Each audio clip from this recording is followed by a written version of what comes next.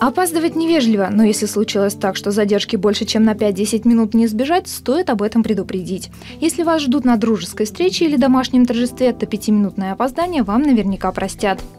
Если уже вы задерживаетесь на 15 минут, мы звоним хозяйке и предупреждаем ее, просим начать торжество без вас. Если вы заходите в комнату, то мы со всеми здороваемся, не нужно рассказывать причины вашего опоздания, просто улыбаемся и тихонько подходим к столу. Не нужно прерывать разговор и становиться центром беседы.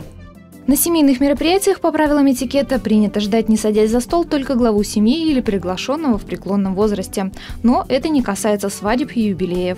Не принято откладывать начало официальных и корпоративных мероприятий. Если в их программе предусмотрен аперитив, это, как правило, 15 минут, задержаться и пропустить его не считается дурным тоном, но нужно обязательно появиться к началу банкета. На банкет вообще некрасиво опаздывать, потому что сначала заходит начальство, а после начальства обычно некрасиво заходить в это же помещение. Если же все-таки так произошло, то лучше всего э, зайти аккуратно, как можно незаметнее это сделать. Если вы не знаете, куда сесть, лучше спросить официанта проводить вас к столу.